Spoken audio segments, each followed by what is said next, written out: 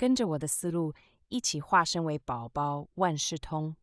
亲爱的爸爸妈妈以及婴幼儿们，我带着喜悦和谦卑的心，要和你们分享我最重要的儿语秘诀——超级婴儿通识作篇《天才保姆的零到三岁 ESY 育儿法》。我对于能协助父母理解并照顾幼儿，向来感到自豪。每当有家庭愿意邀请我进入他们的私生活，我都倍感荣幸，而且每一趟都是非常亲密又有成就感的旅程。自从2001年和2002年出版两本书以后，我的人生开始了一连串的冒险和惊喜，且远远超过我的想象。跻身作家之列，摇身成为公众人物。除了维持平常的私人咨询时间外，我还多了广播电台和电视访谈，更受邀飞往世界各地，认识了许多非常出色的父母与孩子。深入了解他们的居家生活和内心世界。不过别担心，除了行程稍显繁忙，我还是原本的我，一样在婴幼儿领域埋头耕耘。真要说的话，我确实有点改变。我不再只是儿语专家，多亏各位，现在还多了万事通女士的称号。许多父母将我的建议付诸实行之后，纷纷捎来感谢的信函。其中也有不少父母表示，太晚看到我的第一本书《超级婴儿通》，而着急地寄出求救信。或许你正按照我的建议为宝宝建立规律作息，但宝宝已经八个月大了，你不确定书中针对新生儿的原则是否依然适用。也许你觉得奇怪，孩子怎么和其他同龄幼儿不 is 一样？又或者你正深受宝宝睡眠、哺乳、喂养或行为问题之苦。更糟的是，三种状况全都中奖。不论你现在深陷哪一种风暴，你最想问的问题一定是：崔西，我要从哪里开始？我该先做些什么？你也会想问：为什么书中某些方法对我的宝宝不管用？这几年我一直努力解决这类问题，其中也遇过几件棘手的案例：一对三个月大的双胞胎之一，因胃食道逆流严重，无法正常吃一餐。而且不论白天黑夜，睡眠永远没办法超过二十分钟。一名一岁七个月大的女婴不肯吃副食品，所以她每小时都会醒来讨母奶喝。一名九个月大的女婴分离焦虑十分严重，妈妈的一整天抱着她。一位两岁的小霸王性格之暴烈，爸妈几乎不敢踏出家门一步。在我把这些烫手山芋一一解决之后。不知不觉就多了个万事通女士的称号，而这也让我体认到，比起前面两本书的基础对策，我必须再加强阐述育儿这回事。因此，在这本书中，我将牵着你的手，抚平你的恐惧，告诉你如何掌握育儿诀窍。我要把这辈子的儿语经验和所有常见的疑难问答传授给你，领你进入我的思考模式。当然，就算我已尽力列出所有可能遇到的问题，每个宝宝和家庭还是会有些许差异。所以，当父母带着自家难题找上门，想弄清楚宝宝或幼儿怎么了，我一定会针对孩子本身和父母的处理方式提出一堆问题，接着再拟定解决方案。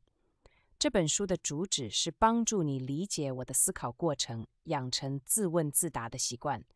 久而久之，你不但能成为耳语专家，还能变身万事通先生、女士，让问题迎刃而解。继续阅读之前，我希望你记住一个重点：问题不过是一件待处理的事情，或是需要发挥创意解决的状况。只要问对问题，你就能得出正确答案。别太急躁，观察肢体语言，仔细听哭声。如果你读过我的书，就知道耳语的起手式是观察宝宝、尊重宝宝以及和宝宝沟通。你必须看出宝宝真正的样子，认识他的个性和一些小怪癖，没什么不好，人人都有怪癖。因材施教。有人说过，我是少数从宝宝观点出发的育儿专家。我只能说，总该有人替宝宝发声吧。有一次，我对着刚出生四天的小宝宝自我介绍。爸妈在旁边露出一副看到疯子的表情。还有一个案例是，父母突然自行决定不再跟八个月大的宝宝同床共眠，宝宝嚎啕大哭。我于是翻译给他们听：“妈咪、爹地，当初不是你们决定要跟我睡在一起的吗？我根本不知道婴儿床是什么，更何况现在身边少了两个温暖的大身体，我完全睡不着，所以只能大哭了。这对父母也是一副目瞪口呆的表情。我会替父母翻译宝宝语，这样爸妈才会记得他们怀里的小东西，以及在房间里东奔西跑的小朋友，实际上也有自己的情绪和意见。换句话说，我们不能只考虑大人的需求。我看过无数次类似的场景：一位母亲对年幼的儿子说：“好了，比利，你又不想要亚当的卡车。”可怜的小比利还不会说话，如果他能开口，我打赌他会说。我当然想要啊，妈咪，不然我干嘛一开始要从亚当手中抢走呢？但是妈咪不听，她会自顾自拿走比利手中的卡车，或是轰比利交出卡车，把卡车还给人家才乖哦。此时我已经在心中默默倒数，看比利何时会崩溃失控。别误会，我不是说妈妈应该纵容比利抢亚当的玩具，绝对不是这个意思。我讨厌恶霸。但如果比利长大变成恶霸，那也不是他的错。祥月八章。我的意思是，我们应该认真聆听孩子的声音，就算不想听也得听。照顾婴儿也该应用相同技巧，别太急躁，观察肢体语言，仔细听哭声，认真厘清真相。这些技巧到宝宝长成幼儿，甚至年龄更大之后，仍然受用无穷。别忘了，青少年只有身体长大。心智还跟幼儿一样，所以最好早点学会读懂幼儿的心思。我整理出一些技巧，在书中时时提醒你，教你如何抽丝剥茧，慢慢来，不急躁。我的读者应该都知道，我很喜欢用英文字首缩写来取名，比如超级通的 Eat Activity Sleep and Your Time，减吃饭、活动、睡觉，留给自己的时间。后续皆以和 Stop and Figure Out。What's up？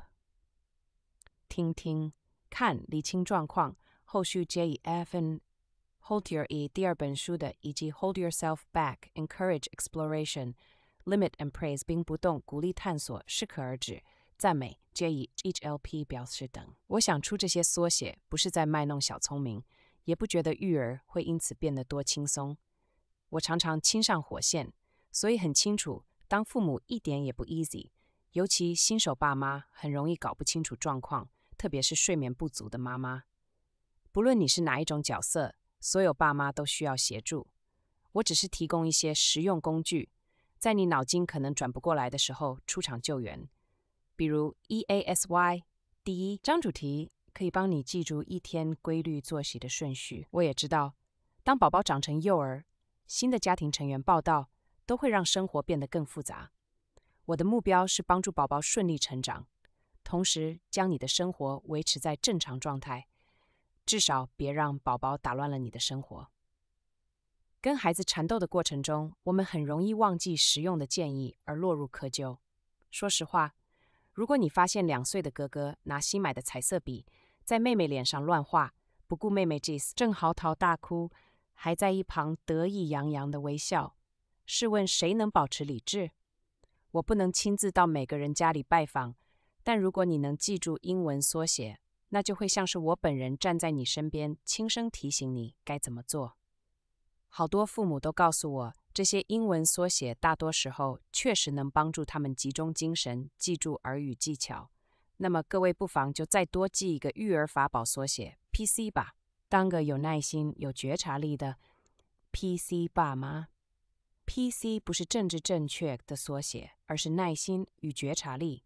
不论孩子多大，这两项特质都很受用。每次我和困扰中的父母见面，他们的担忧不出三大问题：睡眠、喂养和行为。而我的解决方式也总是包含耐心或觉察力，缺一不可。父母不只面对问题需要耐心和觉察力，平常互动也该保持 PC。不论游戏时间、逛超市、与其他孩子相处，以及日常大小事，秉持耐心和觉察力的父母通常更加得心应手。没有人能一整天都有耐心又有觉察力，但是做得越多，就越能习惯成自然。勤加练习，就会做得更好。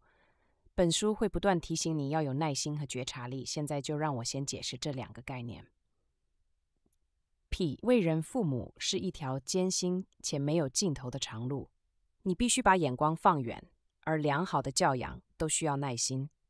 今天的大灾难在一个月后只是一场遥远模糊的记忆，但身处当下时却很容易忘掉这一点。亲爱的，这种事我见多了。父母往往在盛怒之下选择看似最快解决的途径，事后才发现把自己逼进死巷。这就是意外教养的开端。之后详述。比如，我最近遇到一位妈妈，习惯用亲喂的方式安抚宝宝，结果一岁三个月大的宝宝一直无法独自入睡，每晚都要妈妈亲喂四到六次。这位累坏的可怜妈妈说。她一直想让宝宝断奶，但是光想没用，你必须有耐心撑完过渡期。有了小孩之后，生活变得乱七八糟。面对东西乱丢、饮料打翻和脏脏的手印，你势必得要拿出耐的心，否则很难熬过孩子的各种第一次。哪个幼儿第一次用杯子喝水就成功，不会一滩水流得到处都是？孩子一定是慢慢练习，从最初由嘴角流出一丝水。到最后，终于成功喝到杯子里大部分的水。这个过程并非一蹴可及，途中肯定会遇到挫折。让孩子逐渐熟悉用餐技巧，学会把水倒进杯子，学会自己洗澡，放手让他在不那么安全的客厅自己走。以上都需要爸妈付出耐心。缺乏这项重要特质的父母，可能会不自觉造成孩子的偏执行为，即使是年纪还小的幼儿也不例外。我在旅途中见到两岁的塔拉，明显受到超爱干净的母亲辛西亚影响。走进他们家，我几乎看不到两岁女儿住在家里的痕迹。新西亚整天在家里忙进忙出，拿着湿毛巾跟在女儿后头，一下替她擦脸，一下擦干洒出来的饮料。塔拉一放下玩具，下一秒新西亚就收进玩具箱。有其母必有其女。塔拉牙牙学语的时候，就已经会说“脏脏了”。乍听之下很可爱吧？但两岁的塔拉不但不敢自己走太远，一有其他孩子碰他，他就大哭。这只是很极端的特例吗？或许吧。但如果不让孩子像个孩子，身上没半点脏污，一点小错坏事都不许犯，那就太说不过去了。一位厉害的 PC 妈妈告诉我。她经常为孩子举办吃饭不拿餐具的小猪之夜。说来有趣，当我们允许孩子撒野时，他们反而不会做得太过火。想改掉孩子的坏习惯，父母耐心与否尤其关键。当然，孩子年纪越大，需要的时间越长。但是不管几岁，你一定要先理解，改变需要时间，过程是急不得的。奉劝各位，宁愿现在花点耐心把孩子教好，告诉孩子该怎么做。请想想看，叫两岁的幼儿把玩具收干净，总是比较叛逆期的青少年收拾房间容易吧？觉察力，从宝宝离开子宫吸到第一口空气，爸妈就应该发挥觉察力，永远记住要从孩子的观点出发，包括抽象和具体的观点。蹲下来，从孩子的视角望出去，看看他们眼中的世界长什么样子。比如第一次带孩子上教堂，你可以蹲低。想象从婴儿座椅或手推车看出去的视野，闻一闻空气中的味道。想象线香和蜡烛在敏感的爸宝宝鼻子里是什么气味？仔细听人群的说话声、唱诗班的歌声和管风琴有多大声，宝宝的耳朵会不会受不了？我不是要爸妈避开新环境，相反的，让宝宝接触新的景象、声音和人群是件好事。但假如宝宝每到陌生场所总会哭闹，具有觉察力的爸妈就应该读懂宝宝的意思。进展太快了，请慢一点，或者过一个月再试试吧。多运用觉察力，抽丝剥茧，你会逐渐了解宝宝，并培养出正确的直觉。觉察力也包括做事之前先想清楚，妥当规划，别等到大事不妙才来收烂摊子，尤其是你早就知道后果的情况。比如，你和好姐妹约好一起带孩子玩，但是相处几次下来，孩子们总是吵架，最后都以哭哭啼啼收场。那就替孩子换个玩伴吧。就算你跟另一位妈妈交情没那么好，也得换。玩伴的意义就是要一起玩。与其强把破孩子跟没那么喜欢的人相处，不如直接请保姆代班，让你和好姐妹好好的聊天。觉察力是指有意识的注意自己说的话，跟孩子一起做的事，对孩子做的事，并且言行一致。说一套做一套会把孩子搞糊涂。假设你今天说在客厅不准吃东西，隔天晚上儿子在沙发上吃洋芋片，你却不管，久而久之，你说的话就失去公信力，儿子再也不听你的话，这你难道能怪他吗？最后，觉察力简单说就是有意识的言行以及陪伴在孩子身边。每次看到宝宝或幼儿大哭没人理，我就痛苦万分。哭泣是孩子学会第一种语言，哭了没人理。就像是父母对孩子说：“你不重要。”缺乏关心的宝宝最后会停止哭泣，同时也会停止成长。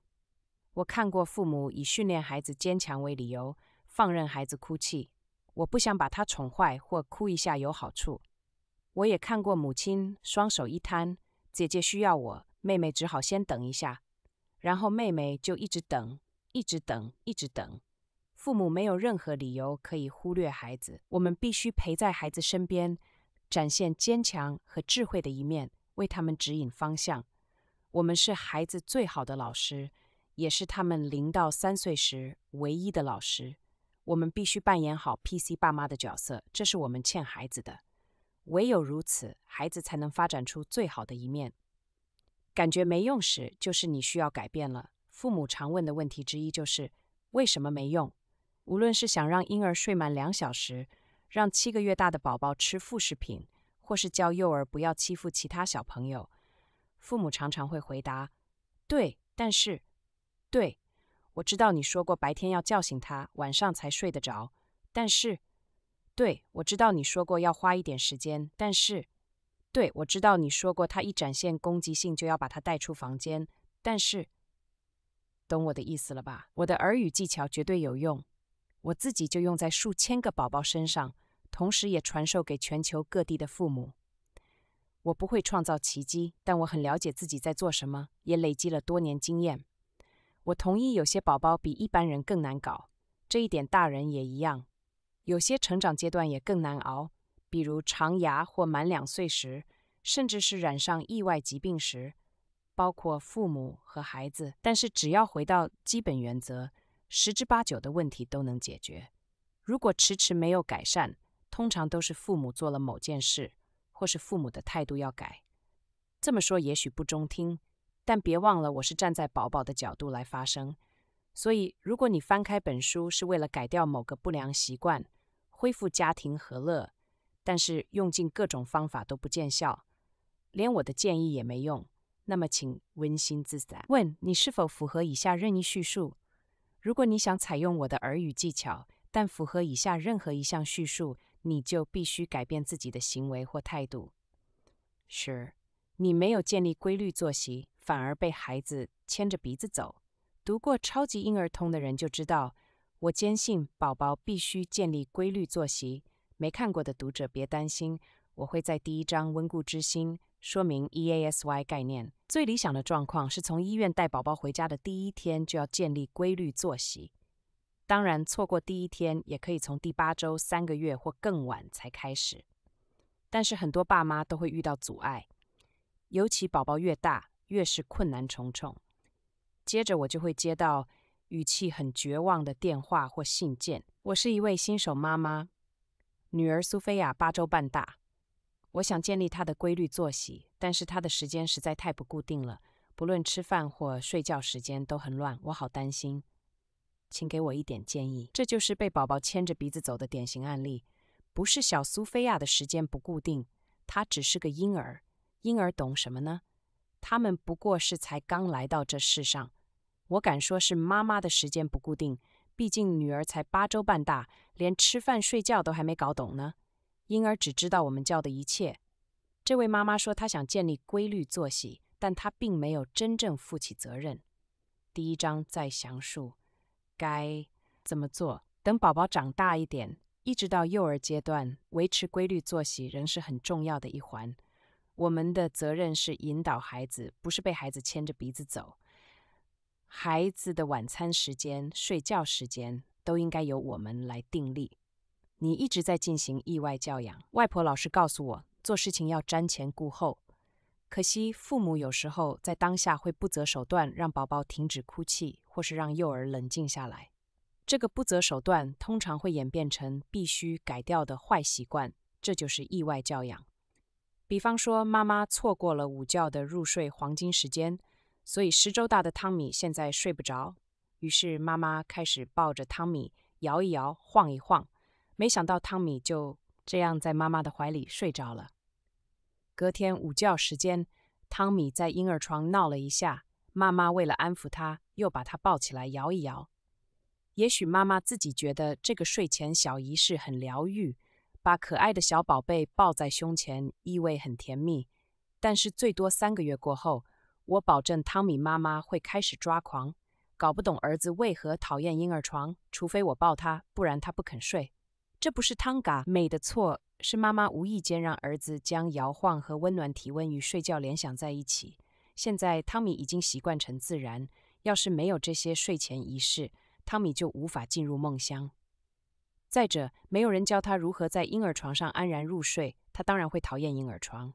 你没读懂孩子的暗示。有的妈妈会打给我求救。他以前有按照规律作息，现在作息却乱掉了。我要怎么让他恢复习惯？每次出现“以前都，现在却”这种造句，不仅代表父母被宝宝牵制。通常也表示，比起宝宝本身，父母更注意时间或自身需求。父母没读懂宝宝的语言，没仔细观察宝宝哭的状况。就算宝宝已经开始牙牙学语，我们还是要持续观察宝宝的行为。比如，侵略性较重的孩子不会一走进房间就开始打玩伴，他一定是慢慢累积，最后才爆发。聪明的父母就要注意征兆。趁爆发前，把孩子的精力转移到其他事物上。你没考虑到孩子本来就经常在改变，有时候父母没发现是时候改变了，才会说以前都。假如宝宝满四个月大，还在实行零到三个月的作息，见第一章，他当然会不高兴。宝宝原本睡得好好的，满六个月之后，如果爸妈还没开始喂副食品，宝宝就会夜醒。养小孩唯一不变的真理就是孩子随时都在变。若你只想要速成特效药，不论是半夜醒来讨奶，或是不肯坐在儿童椅好好吃饭，孩子年纪越大，意外教养造成的坏习惯就越难戒除。但是大多父母都希望挥挥魔杖，问题就能解决。比如伊莲为了亲喂改成平喂而来请教我的建议，之后却称我的方法不管用。遇到这种状况，我开头一定会先问你试了多久。一莲坦诚，早上喂奶试过一次，然后就放弃了。为什么一下子就放弃？正是因为伊莲期望立刻见效。于是我提醒他，PC 的 P 代表耐心，你没有下定决心改变。伊莲的另一个问题是，他不愿意坚持到底。他的理由是，我怕不立刻喂的话，小泽会饿到。但各位应该也猜到了。这并不是整件事的全貌。他说希望先生也能喂五个月大的小泽，实际上他还是只想一个人喂奶。如果想解决问题，你必须是真心想解决才行，而且你要拿出决心和耐力，坚持到底。拟定计划，严格遵守。不啊，要走回头路，也不要一直换方法，只选定一种方式实行，一定管用。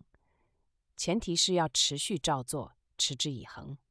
容我再三强调，实行新方法的态度要和旧方法一样坚定，无论如何都要照做不误。当然，有些孩子的脾气比较抗拒改变，人遇到改变总是会有点不甘愿，大人也一样。只要坚持下去，不要乱改规则，孩子终究会适应新方法。父母有时候会骗自己，声称新方法，比如第六章的抱起放下法，已经试两周了，还是没有效果。我一听就知道不可能，因为不论是哪种性格的孩子，抱起放下法一定会在一周内见效。可想而知，在我细问之下，父母才说前三四天试了有效，但几天过后，宝宝又在半夜三点醒来，他们没能继续照做。气恼之余，他们试了别的方法。我们决定放任他哭。有人推荐这样做，我可不推荐，因为宝宝会觉得被父母遗弃。现在可怜的宝宝不止被变来变去的规则搞糊涂，同时还被吓坏。如果不打算坚持到底，那一开始就别做了。如果靠自己做不来，请找先生、妈妈、婆婆、好朋友等人支援。否则，你只是在折磨宝宝，害他哭得撕心裂肺，最后还是得抱回自己床上睡。相见第五到七章，你选的方法不适合你们家或你的个性。每次我提出规律作息或其他戒掉坏习惯的技巧，通常都能判断是爸爸还是妈妈比较能有效执行。其中一人会比较有纪律，另一个则是软心肠，或是更糟糕的可怜小宝贝症候群患者。有些爸妈会歪着头对我说：“我不希望宝宝哭。”事实上，我不赞成强迫宝宝。我不相信任由孩子大哭是好事，无论处罚时间多短，我也不赞成暂停隔离法。孩子需要成人的协助，而我们必须在孩子身边才有办法提供协助。尤其如果你想挽救意外教养的后果，更需要下苦功。如果无法接受某一项耳语技巧，你可以选择完全不采取，或是想办法找援军，例如请意志比较坚定的另一半代劳。或是找妈妈、婆婆、好友等人帮忙。你所谓的问题其实不是问题，所以不必解决。最近我收到一封信，询问四个月大的宝宝可以睡过夜，但他的奶量只有七一零毫升。你的书提到奶量应该介于九五零至一零六零毫升，我该如何增加他的奶量？有多少母亲不惜一切代价想让宝宝睡过夜？这位妈妈所谓的问题，只是宝宝的奶量与书中所述不符。也许这个宝宝体型比较娇小，毕竟不是每个人都有姚明家的基因嘛。只要小儿科医师不担心宝宝的体重，我建议先不必轻举妄动，只要好好观察宝宝。也许再过几个月，他就会半夜哭醒，这时妈妈就可以考虑白天添多喂一点。你抱着不切实际的期望。有些爸妈对于育儿有一种不切实际的幻想。通常这些人事业成功，在职场是备受爱戴的上司，既聪明又有创意。他们把生儿育女视为人生的重大转变，事实上确实也是如此。但生儿育女同时也代表踏上很不一样的人生道路，因为父母必须承担一项重责大任，照顾另一名人类。一旦成为父母，你就再也回不去从前的生活了。宝宝有时的半夜喂奶、管教幼儿，也不像专案管理可以高效率进行。孩子不是任人设定程式的机械，他们需要关心、时时刻刻留意，以及很多很多的爱。就算有人帮忙带孩子，你自己还是得花时间精力去好好了解儿女。还有，别忘了，不论孩子现在处于好或坏的阶段，现阶段一定会过去。就像最后一章说，正当你以为出事时，新挑战马上又来。学会更了解孩子的思考方式和看法。这本书是为了回应各位的需求所写。许多爸妈想要进一步厘清育儿策略的疑问，还有包罗万象的问题需要解答。除此之外，也有很多人想要不同岁数的明确指南。我的读者都知道，我不太喜欢按照宝宝年龄给建议。因为宝宝的问题并没有那么清楚的年龄分水岭。当然，婴儿和幼儿通常都会在特定时间达到某些个里程碑，但是就算不符合一般的时间点，八成也没什么问题。不过，为了回应各位想厘清细节的需求，我在这本书将儿语秘诀按照年龄分类，加入多种量身打造的技巧，分成出生到六周、六周到四个月、四到六个月。六到九个月，九个月到一岁，一到两岁，以及两到三岁。本书用意是教父母如何更了解孩子的思考方式和看法。书里每一章不一定都会提到所有年龄层，端看该章讨论的主题。比如第一章讨论 EASY，就只介绍零到五个月宝宝的做法，因为这时候爸妈对作息会有许多疑问。第四章讨论幼儿饮食。就会从六个月大的宝宝谈起，因为这时候宝宝才开始吃副食品。你会发现每个年龄层其实涵盖范围很大，因为每个孩子状况不同，不适合分得太细。另一方面，我也不希望读者落入我所谓成长较劲的心态，拿别人孩子的进度或问题跟自己孩子比较，或是一发现小朋友不符合年龄层的表现就紧张兮兮。我看过很多共学团的孩子，年纪都差不多，妈妈们可能是在产房或妈妈教室认识，这群妈妈会坐在一起聊天，但我看得出来，他们都在观察彼此的宝宝，一边比较一边纳闷。就算没有大声说出来，我都可以听见他们内心正在想：我家克莱尔只比埃曼纽小两周，为什么长得比他小只？看看埃曼纽已经想拉着站起来了，克莱尔怎么毫无动静？首先，对三个月大的婴儿来说，两周是非常大的差距，那可是他人生的六分之一啊。第二，看了婴儿发育时程表，父母都会把脐带拉高。第三，孩子各有各的强项。克莱尔或许较晚才学会走路，其实现在还说不准，但说不定他会比较早开口说话。在此呼吁各位，阅读本书时，请不要只看自己孩子的年龄层，因为小时候的问题可能会一直持续。比如五六个月大的宝宝突然出现两个月会有的问题。再说，孩子可能某方面特别有天赋。所以，先了解之后的发育阶段不无好处。我认为黄金时间确实存在，也就是实施某项技巧的最佳时间，比如让宝宝睡过夜，或是带宝宝认识新事物，包括亲喂改成平喂，或是训练宝宝做餐椅。尤其进入幼儿期之后，如果没有把握黄金时间，亲子可能会陷入角力。你必须未雨绸缪。如果你没有想办法把幼儿该学会的事，例如穿衣服、上厕所设计成游戏或开心的活动，孩子就有可能抗拒这些新改变。养育过程再艰辛，也别忘记大笑。本书涵盖的主题很广泛，我尽量放入所有育儿会面临的问题，也因此很难整理成条列公式。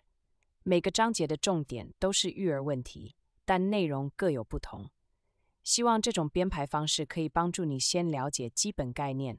然后参透我如何看待各种教养挑战。每一章节都有许多特别单元，例如教养的迷思、综合一览表、重点资讯以及来自各个家庭的真实案例。本书所有案例、往来信件和网站发文的当事人姓名与身份资料皆经过修改。我想将重点聚焦在父母最常见的担忧，并且分享我通常会问哪些问题来找出症结点。我就像受聘顾问，前往公司分析经营不善的原 A 因。我必须搞清楚公司成员他们分别负责的职务，以及发现特定状况之前发生了哪些事。接着，我必须提出另一套做法，带着情势走向另一种结果。一旦了解我对宝宝和幼儿问题的想法，以及我如何拟出解套方法，你也能成为家中的儿语专家。前面提过，本书的宗旨是帮助你学会我的思考模式。这么一来，你就也能自行解决宝宝问题。我为了厘清状况所提出的问题，都会以粗体标示，就像这样，一目了然。书中提到，儿子和女儿的次数尽量维持各半，但是爸爸和妈妈就没那么容易了。我收到的信件和电话，绝大多数来自妈妈，所以书中提到的也大多是妈妈。各位爸爸。如果你正在阅读本书，请了解我并非故意忽略你。我很庆幸现在许多爸爸也会担起教养的责任，甚至有两成的父亲是家庭主夫。希望有一天，经由各位的努力，大家不会再说亲子书籍是专门写给妈妈看的。本书有两种阅读方式：第一是从头看到尾；第二是翻到现在需要解决的问题，从那一页开始看。